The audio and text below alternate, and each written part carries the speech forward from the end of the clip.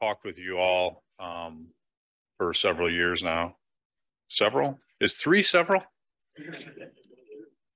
Um, I think the first time it was a recorded thing.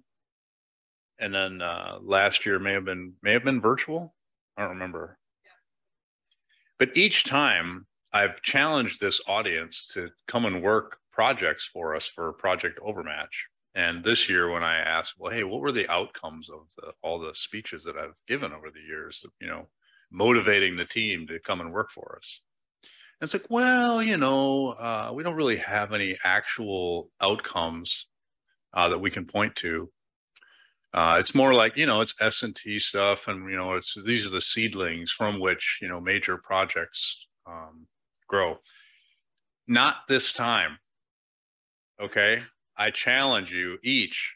Okay, we've got a lot of work to do, and I have some people here who I'm going to embarrass by calling them out, and I want to my goal is to get at least three no kidding projects working on stuff that we need and I'll, I'll talk more about that as as i go along okay everybody in